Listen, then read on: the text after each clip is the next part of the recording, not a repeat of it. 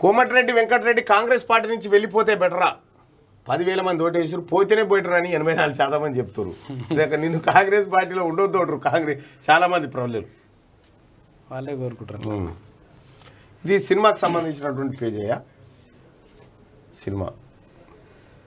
KGF two good news అట. Surprising update. Kannada rocking star Yash కథానాయకుడు ప్రశాంత్ నీల్ డైరెక్టర్లో blockbuster సాధించిన కేజీఎఫ్ టూ ఇప్పుడు బుల్లితెరపై సందడి అయినట్టు దీనికి డేట్ కన్ఫర్మ్ అయింది. కేజీఎఫ్ చిత్రానికి సీక్వెల్గా వచ్చిన ఈ మూవీ దర్శకుడు ప్రశాంత్ నీల్ హీరో యశ్లను మరో రేంజ్కి తీసుకెళ్ళింది.